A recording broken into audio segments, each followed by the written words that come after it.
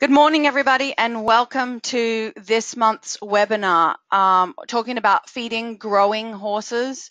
Um, it's something that I find really, really uh, a neat topic to talk about, and there's some new information. We're always trying to make sure we have strong, sound babies, and and really um, the feeding of those mares prior to pregnancy and throughout pregnancy is a big part of it. But we're we're going to talk about the the foal today. so we will touch a little bit on those in utero requirements, a bit of that postnatal uh, requirement. So once the foal is born, are we going to change the feeding? What should we be concerned about um, after the fact versus while they're in utero? Um, and some of the disorders that we worry about with young growing horses and the role of nutrition and perhaps look at some ideal diets and adding in the DAC products and see how we can, um, excuse me, make sure we're feeding a, a nice complete diet. If I can get the slide to change. So why is it important to feed young growing horses? Well, we're not just looking at the horse and saying, oh, we want a great baby. We want to have a future athlete. We want this horse to grow up and be a racehorse or a barrel racing horse. And typically, these horses aren't just going to have one career. You know, I've seen a lot of the thoroughbred makeover project as um, all of the invites are going out at the moment and seeing these cool stories about horses that have been Kentucky Derby prospects, steeplechase mm-hmm. horses. Now they're going to go into the thoroughbred makeover. You know, horses are expected to have several careers and be sound in every single one of them. And I'm seeing horses live longer. So not on not only are they going to have several careers, but they're also expected to live to 25, 30, and again be sound in all of those years and all of those careers. So re- it really, really, really makes it so very important that those of us that are breeding and feeding young foals and brood mares, if we want to set those horses up for a lifetime of success, then we need to make sure that we're laying down a good foundation. You know, if you want a house to last forever, it starts at the foundation you know you don't want to get to 50 down 50 years down the road on your house and think oh gosh that foundation wasn't very good. And look one half of the house just fell off. So we need to make sure that we're really um, putting down that strong sound base. Minerals um, you know what what's happening in a lot of our young horses is we're seeing a lot of futurities a lot of young horse classes in every discipline, whether it be barrel racing or race horses or quarter horses or dressage horses or jumping horses not only do we want them to live a long time, but we want them to mature early. And so we're asking for rapid skeletal growth. Um, so we need to make sure that the minerals that are being deposited in the bone, we need to make sure we're feeding the best quality minerals to make sure that they're highly available to that young growing animal so that we give them the best chance. Um, if we don't have the best quality minerals and nutrients, then the uptake's going to be poor and we'll have a poor foundation or a poor skeleton. So that's why feeding is really, really critical with these young animals. So if we look about at, if we go all the way back to before breeding, um, well, I always, my anecdote is that when's the best time to feed that foal before the mare even goes to the breeding shed.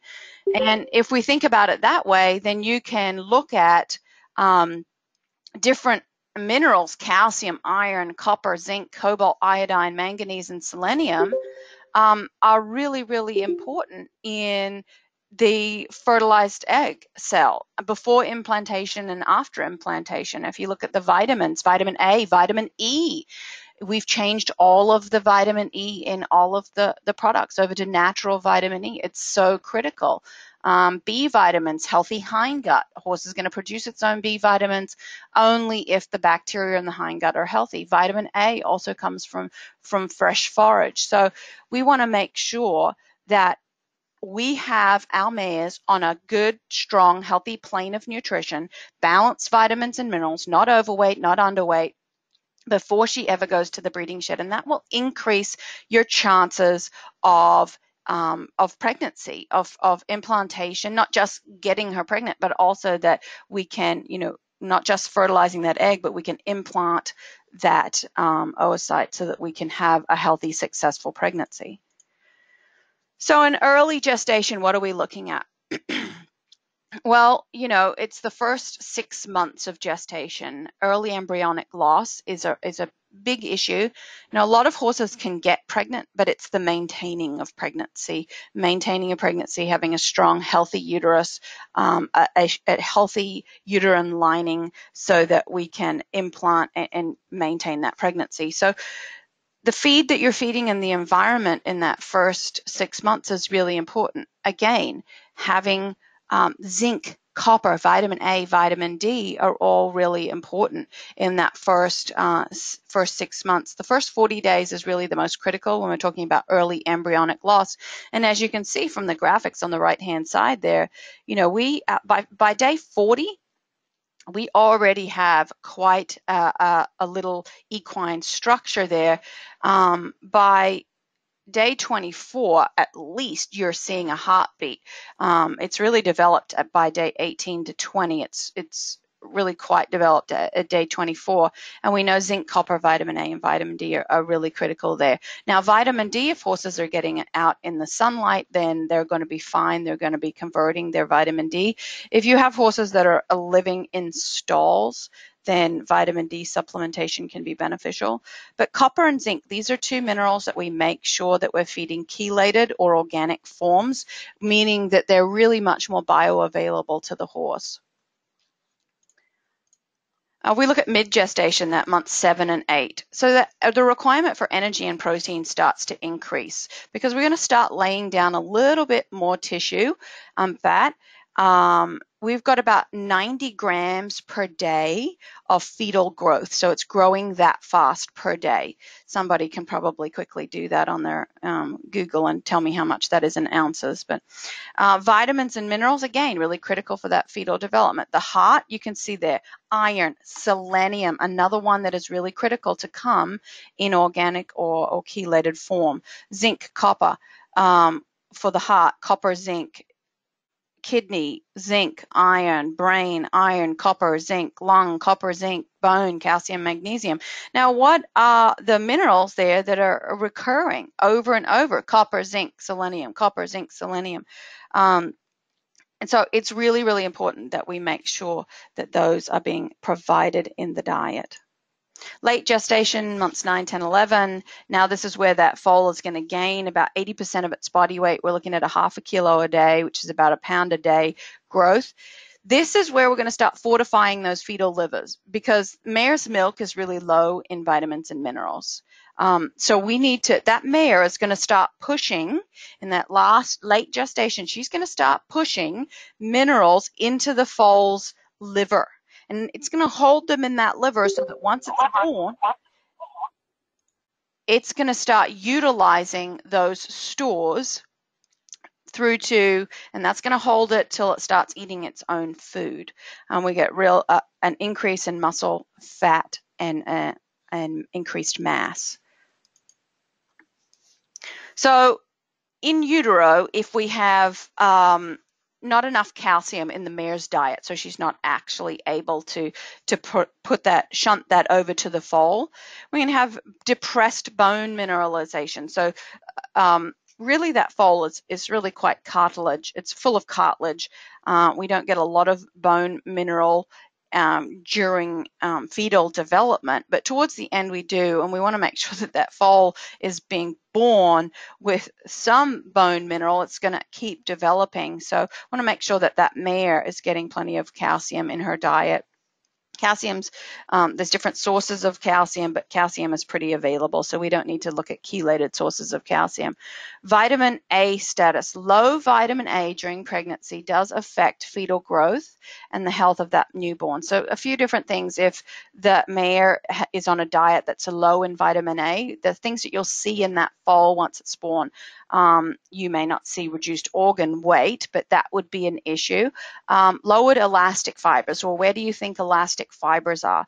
Tendons, connective tissue, delayed lung maturation, and reduced gene expression. So, any of your horses, you know, I think uh, when I think of organ weight, the first organ that I think about is the heart, and we want to have a good, strong, healthy heart, and we want to have strong, healthy lungs so that when that foal is born, um, you know, they've got good lung capacity, good strong heart, that's going to start them off well. Mares at pasture vitamin A deficiency is pretty rare, but as we've been talking over the last months, year even, we know that most horses don't get plenty of access to pasture. Now, hopefully our brood mares do, and if you're if you're lucky enough to be in Virginia or Kentucky, Tennessee, then we do have a lot of pasture available. But a lot of our horses, unfortunately, don't get um, access to pasture. A lot of our performance horses. So with your brood mares, really do make sure that they get access to vitamin A. Um, it's going to be in the um, breeder's Choice Plus, that vitamin and mineral. So people ask often, what's the difference between the dark orange and the Breeder's Choice? Well, the Breeder's Choice is going to have slightly higher um, vitamin A content and selenium content to, to take into account the added requirements of these brood mares.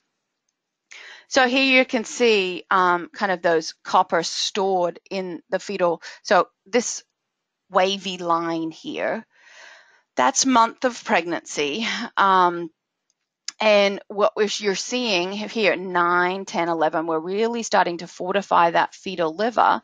But then as soon as the foal is born, those, those liver stores start to decrease all the way down to five months of age. Really, by three months of age, that foal is being weaned off uh, pushed away from the mother she's start, starting to slowly wean them and they're going to start eating their own food source um, one thing that I would be cautious of, any of you that have heard Dr. Duran or myself talk about different supplements, we are really not a fan of any supplements that contain seaweed because the iodine content can be very variable. Um, and that can be really, really a problem in brood mares and in young growing horses.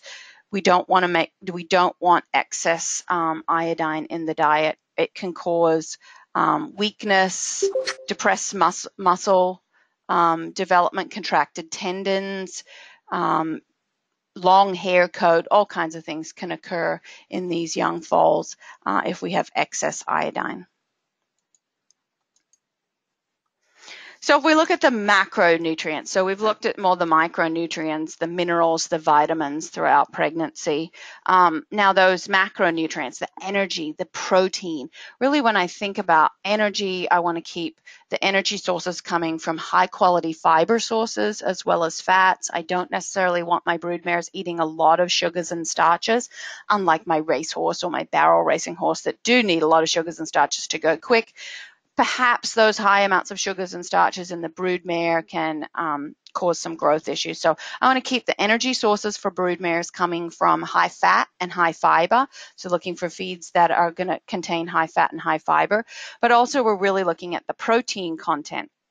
Um, when we think about protein, we really want to be thinking about the quality of protein, those amino acids. And the analogy, the picture that I like to use is the barrel analogy. Um, lysine is the single most important amino acid for young growing horses. And it really, if you look at the barrel on the left, so this is this is a barrel, and each one of the slats represents a different um, amino acid lysine, methionine, leucine, isoleucine, valine, tryptophan, phenylalanine, threonine. But unfortunately, you can only fill this particular barrel up to the level of the lysine there. So it doesn't matter that there's this much methionine and there's even more um, leucine. You can't use any of this additional amino acid above the amount of lysine that you've got in the diet. Think about it like you can't fill that barrel up above the lysine slat. So you need to make sure that you're feeding adequate amounts of lysine and then it will allow you to utilize those other amino acids. So we want to make sure there's good quality protein sources in the diet. And where are they going to come from? They're going to come from alfalfa legumes like alfalfa, soy, um, soy soybean meal is a really ideal protein source for horses. Canola meal. Um, if you feed your horses a very basic oat hay type diet and you add supplements to it with young growing horses and brood mares, you absolutely need to add alfalfa.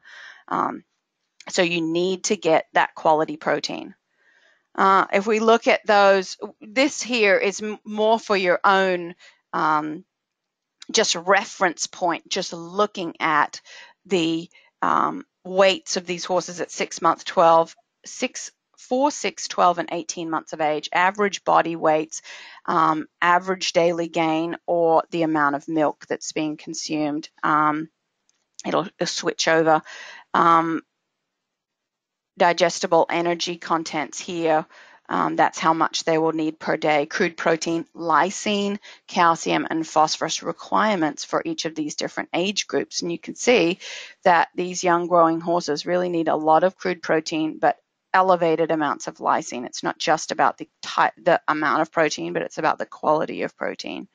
Um, and then when we look at foals, weanlings, yearling 18 months and two years, if we look at the amount of forage to concentrate ratio, um, you can see here uh, that on, as a percentage of body weight. So that's really just a slide for your own reference. So some common questions that I get about young horses is, well, when should I start feeding them?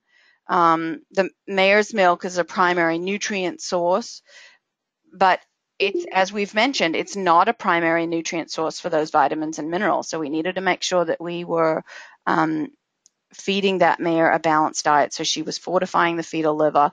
If you look at this graph on the right hand side, you can see that really around three to four months here, the, the energy provided by mare's milk really drops off and the energy required by the fall significantly increases. So here's where we get this energy deficiency. So um, right around three months is where I say that fall should start eating its own food. You should start giving it its own um, ration.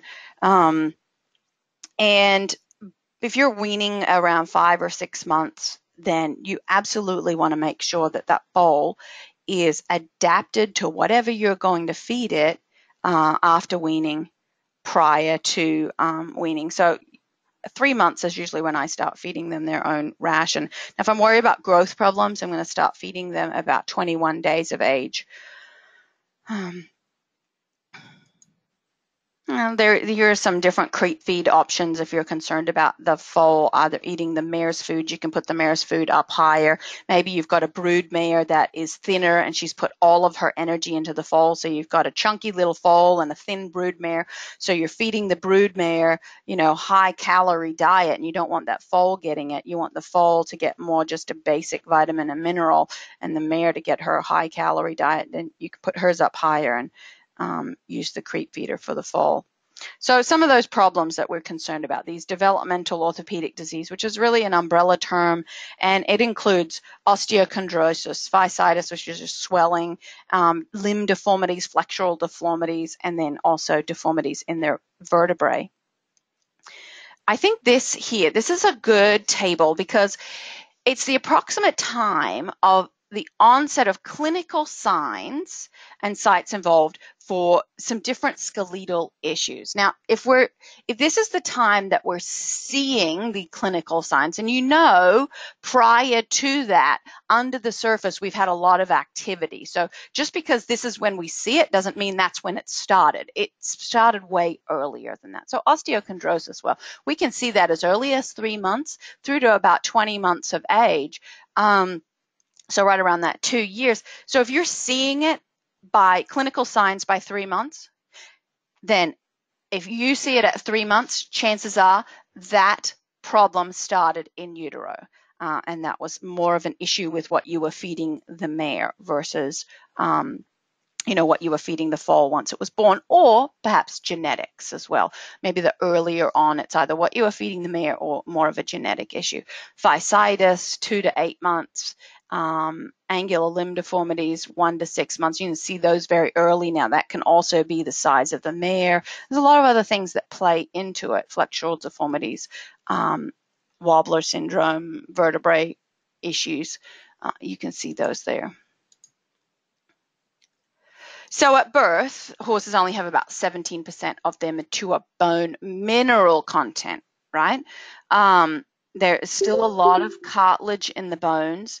Um, but so once they're born, we really want to lay down good quality minerals. At 60 days of age, a horse should grow at least 75% um, of their mature wither height. Most uh, lower limb growth is complete before the yearling phase. So again, I'm, I'm setting the stage here that um, you really need to, as early as possible, you need to be making sure these horses are getting adequate nutrition. You know, just the mare's milk and just the hay or whatever they um, have access to is, is not enough. You need to be supplementing these young horses. By 18 months of age, the average light horse will reach 90% of their mature height. So people call me and say, you know, I've got a two year old and I really want him to grow taller. There's really no chance of that he can fill out more. We can develop his muscle, but by by two, um, you know, he's pretty much re- reached the height that he's going to be. Now, as you'll see a bit later on, actual maturation of some of those bones takes a lot longer.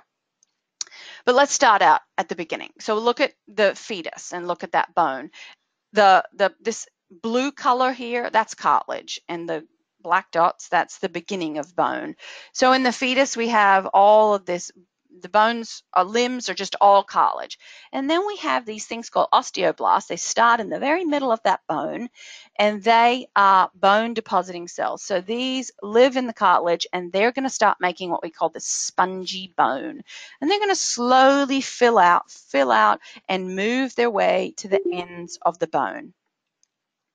Um, in the late fetus, so you know, 9, 10, 11 months, and in the neonate, we're going to start to now also get some osteoblasts in the very tips of those bones. Um, and so we get these two separate centers here, and that's what's going to form these growth plates. Once the foal is born, um, we're going to start, or late, late um, gestation, and once the foal is born, we're going to see this marrow develop right here in the middle. So right where back where the osteoblasts started colonizing first. Now they've moved all the way along. We've got the spongy bone, we've got this growth plate, and on the very ends here, this darker blue, that's hyaline cartilage. That's the cartilage between joints that they're going to stay with for the rest of their life. Um, and in the middle, we start to develop bone marrow. Now, in the adult horse, that bone marrow extends full length of the bone. You can see that that growth plate has converted to bone, and this is a healthy, good example of how it's supposed to work. And we have this hyaline cartilage on the end. Now, in the in the senior horse, you'll notice that this hyaline cartilage starts to get thinner and wear away, and that's when we have um, osteoarthritis. But this young horse, we've got this nice thick layer of cartilage here. So growth plate conversion to bone, um, you can see, you know, conversion to bone in the short pastern between 9 and 12 months, long pastern 13 to 15 months. But what I think is really interesting down here, what I've got highlighted in red, we're now looking at numbers between three, three and a half um, for the scapula up, up in the top parts of the bone. So it's easier to see if we look at this picture here.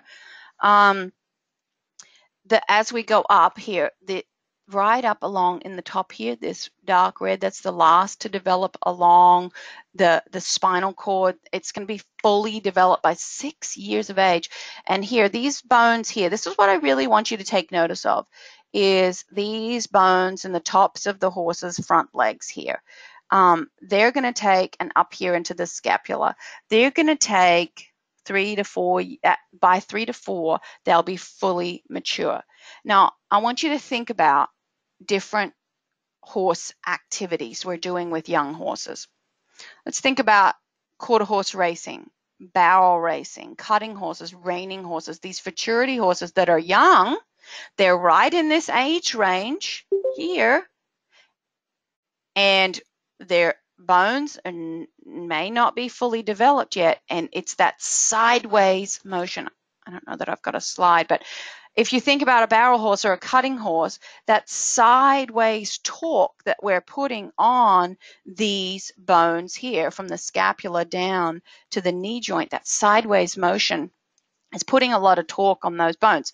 So what does that mean? It doesn't mean you know, great. Yeah, I'd love to be able to say we take away all these young horses, your horse classes because these horses aren't developed, but we're not going to be able to do that. We can't take those away. So what we need to do is make sure that we have really strong, developed young horses. So we need to make sure that we're feeding chelated minerals. Why? These chelated minerals are much more bioavailable. They're going to absorb into the bones. They're absorbing into the uh, the system a lot better than inorganic minerals. And so, if we can't stop this early riding and early torque on these bones, then we want to make sure that we're supporting these bones as, as much as possible. Now, can we perhaps by using really good quality chelated minerals and, and not all of them is, are the same can we perhaps speed up bone maturation? Well perhaps we can inc- you know speed these numbers up a little. But if even if we can't we want to make sure that these bones these limbs are as strong as they possibly can to withstand all of that sideways motion that torque. Um, so we know that there are a lot of factors that play into this developmental orthopedic disease, nutrition, genetics, this injury, stress, the mechanical that we've just talked about. Um, so we, we can control nutrition though. Um, and again, I harp back to, you know, feeding is so important in those early days because nutrition mistakes early on are amplified. They are exponentially amplified. And mistakes you make when feeding the broodmare while she's pregnant and that young growing foal, they can make or break the athletic performance of an adult horse. Uh, so it's really, really important. Uh, energy, we want to talk about calcium, phosphorus, copper, zinc, manganese. Now, you know, you you saw early on, we looked at the minerals, um, copper and zinc were over and over, they just kept coming back as really important in that young growing horse. So um, it, it's evident that they, um, there's been a lot of research done on copper and zinc. We'll touch on some of it. Um, digestible energy. Now that's really the first one. It's the easiest one to see in horses. Your horse is fat. It's eating too much. It's got getting too much energy in its diet, and it's not expending enough energy. So um, excess energy will increase the horse's growth rate. Um, it can also increase the horse's activity if we're feeding a lot of sugars and starches, and it's kind of making that foal a little more hyperactive. Um, you know, when they're crazily running around, it does put more stress on those um, limbs and bones. Now, that's not to say that you want to lock foals up because actually exercise helps lay down the fun- function of pressure and stress on those bones does help lay down calcium and strengthen those bones. So we certainly don't want to lock them up, but we don't want them going crazy either. Um, and we don't want fat foals. Um, that is going to predispose them to just a lifetime of, of issues. And you look at a horse, he all of his weight is carried in his trunk and he's got four skinny legs and four even smaller hooves that all of this pressure is going to be on. So we want to make sure that we, you know, we, we don't have these fat falls putting all of that extra weight on, on what may be through nutrition or genetics already compromised limbs. So fat falls are not a great thing. Um, you know, this is looking at glucose and insulin. So we're talking about these high sugar starch diets, um, we we really look at glucose. We're thinking about when we're doing research, we're measuring glucose and insulin, and you can see here healthy foals here, right here, this dark kind of gray line. Um, then this is the that's the glucose value, plasma glucose, the dark gray line, and the dotted line here, that's their insulin. So in healthy foals, their glucose and insulin is normal down here.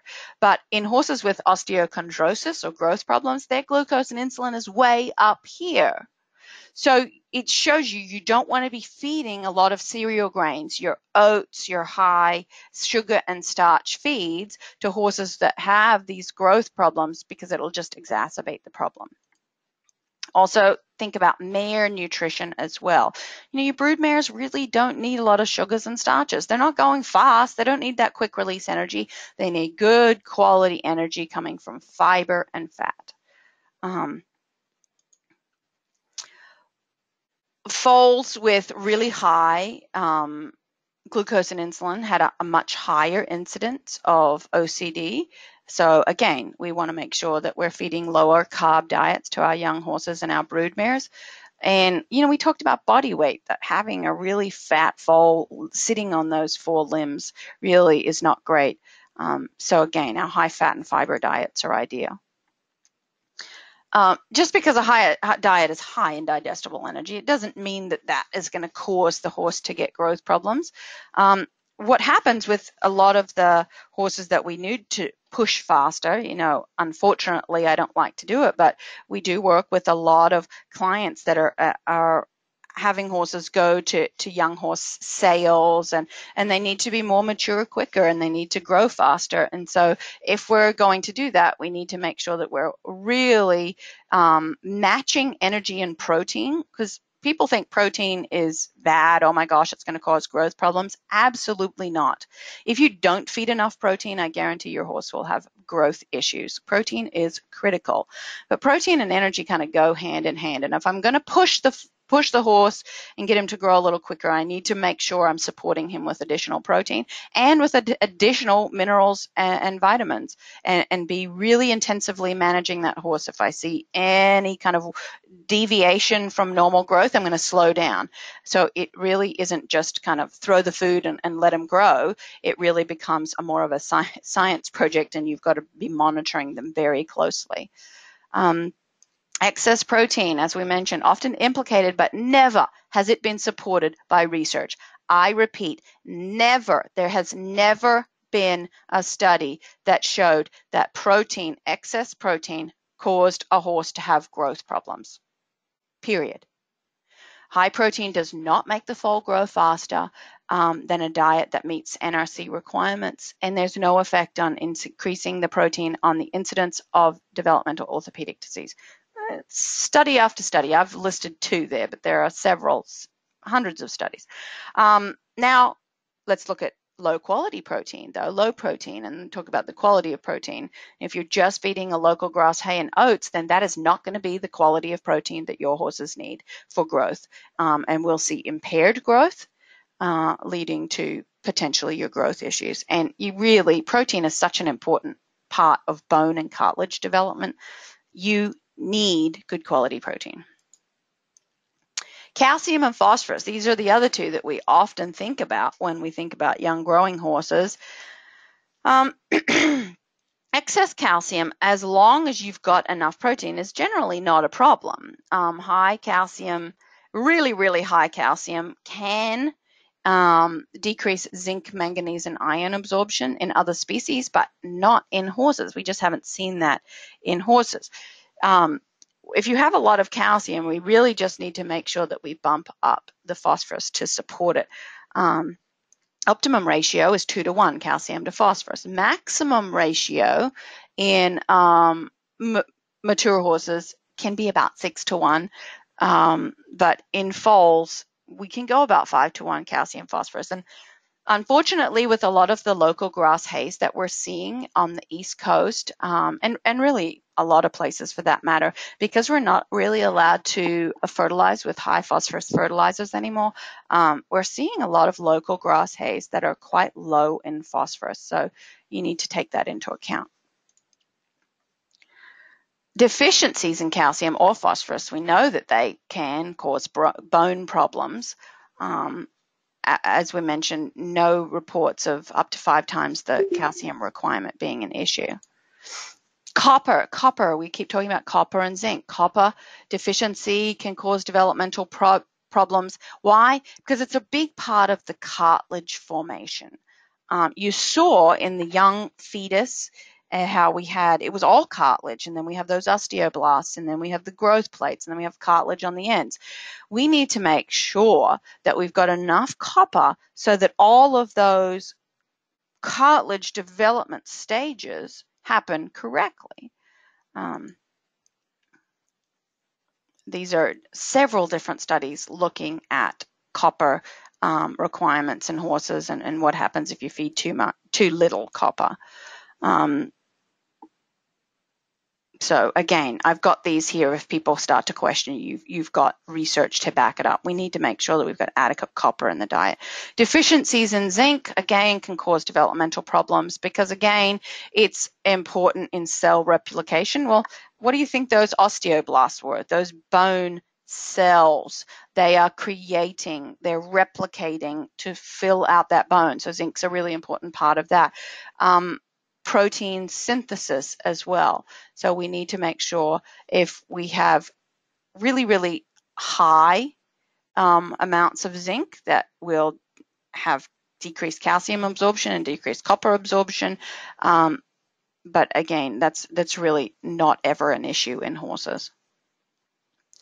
Um, this is a study looking at standardbred foals where the, the mares were not being fed a fortified diet. They were just on just hay and oats, no vitamin mineral being fed.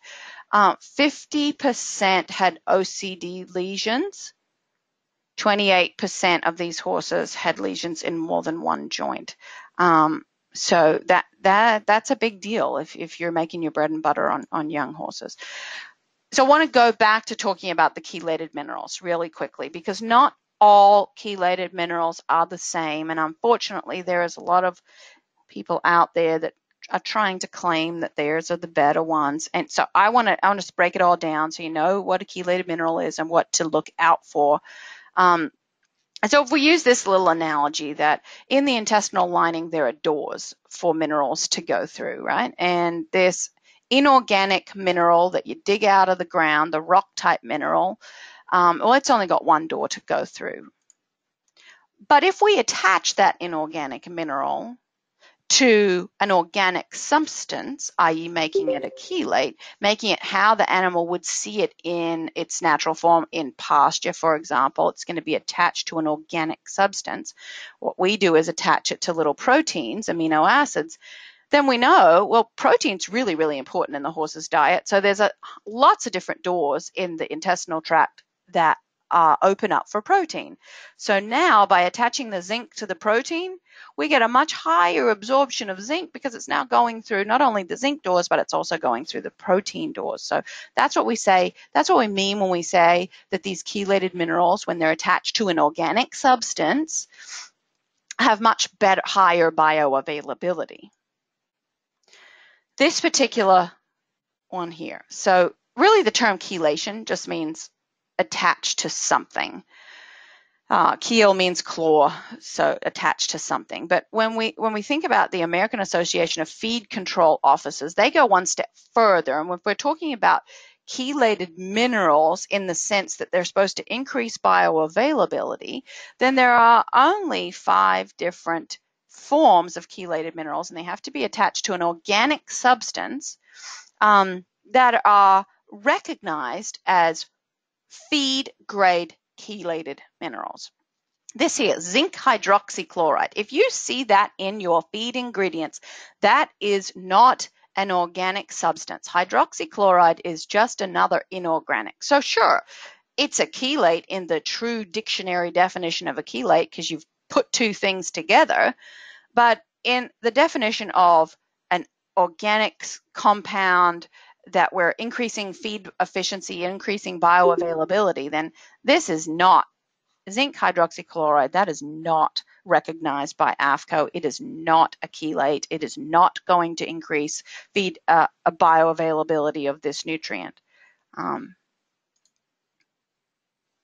we use proteins or, or, peptides to attach to these minerals to make them more bioavailable. And the primary reason is we, research has shown us. Can everybody still hear?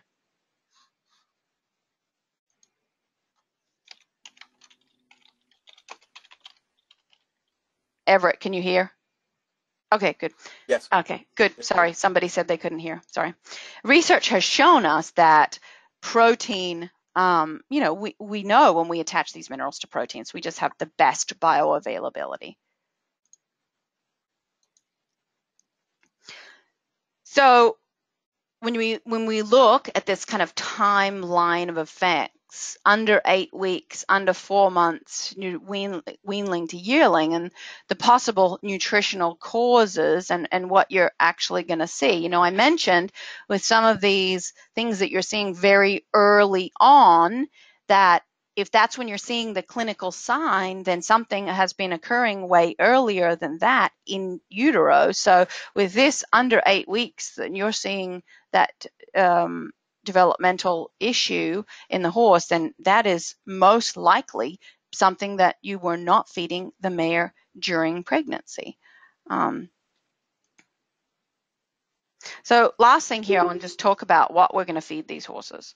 So if we have a foal that has developed some kind of um, joint issue, when I typically, if the foal is three months or older, I'm going to wean the foal so that I have 100% control over everything that's going in their mouth. We're going to take the whole mare milk out of the equation because really what we're getting out of mare milk is energy and protein and, and we probably don't need all the excess energy that this foal is getting because I you can't really slow the growth down per se. It will continue to grow, but you just want to keep them keep the growth more consistent. You don't want to have these spikes in growth. And and we know that you know a mare, let's say a foal is born in the in January, late January, and the mare doesn't have any grass to eat, so milk milk content, their protein and energy is just coming from whatever um, hay you're feeding them. And then we get to the spring, maybe April. So that fall is four months old, January, March, April, four months old, and we have this increase in spring grass, then of course the milk content in energy is going to go way up. So I want to take that out of the equation. Um, and I'm going to analyze the diet. And if we've got swelling with heat, so inflammation, and we know from past webinars that inflammation is the beginning of all bad things, then we want to make sure that we, you know, slow, slow down their exercise level to prevent any extra damage, maybe do some cold hosing. And what minerals are we going to add? Okay, if we're looking at a, a DAC program, we're going to look at something like the Colt Grower, the CMZ paste. What is that? Copper, manganese, and zinc um, as a therapeutic dose.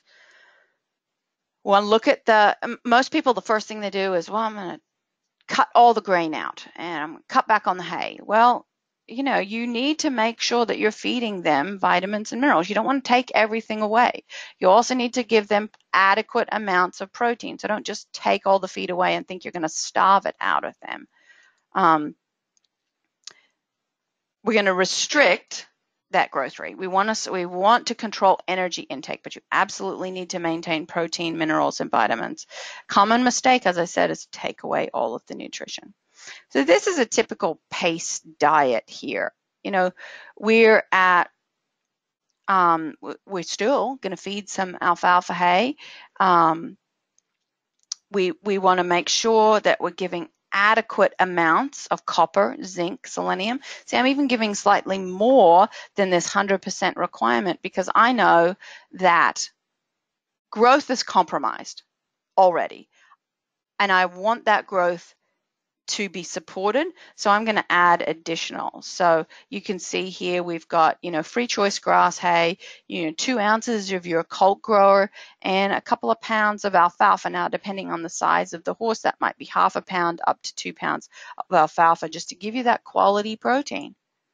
So in summary, mare nutrition is the key to foal health. All starts there. In utero, you've got to make sure that you're building a sound foundation Give that mare adequate vitamins and minerals. Give her adequate nutrition so that she can start building that. You know, you hear the saying, I'm eating for two.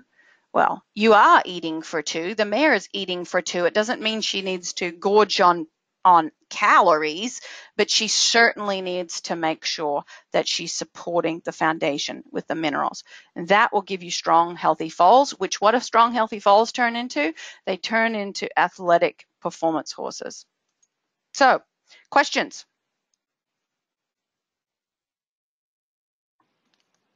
If nobody asks a question, I'll feel terrible. It was a little longer than normal, but you can tell I like this topic, hopefully. I'll unmute everybody. Susie, ask your question. Good. Good morning, Tanya. Um, recently had a client's veterinarian pull her young horse, who's just 14 months old now, um, off of our colt grower because she felt she had an allergy to the soybean base. Oh my God. Um, the foal was just looking kind of poorly. They did fecals. There were no worms. Um, the coat was going kind of south. The eyes and she was coming down with with symptoms of allergies. Um, have you ever run across that with our colt grower? Absolutely not. And I would challenge that vet that it had nothing to do with the colt grower. I would have been evaluating the rest of the horse's environment. I would have been evaluating the hay that that foal was eating. Had that whole foal also gone through any other sickness? We know that 100% of foals that go through some kind of stress event um, have impaired gastrointestinal lining. And that in itself, if you've got toxic material floating out of the intestines and into the bloodstream, that right there can cause those allergy like symptoms and that ill thrift. It had nothing to do with the colt grower. Okay. Well, that, that was my